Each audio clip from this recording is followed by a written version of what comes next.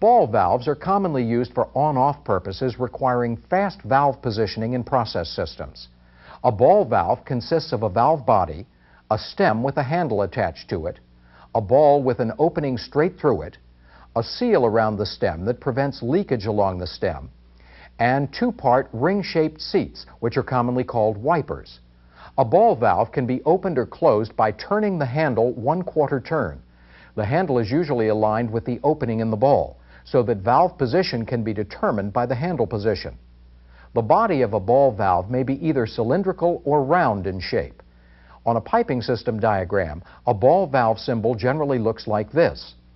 If the symbol looks like this or has the letters NO beside it, then the valve is normally open in the piping system.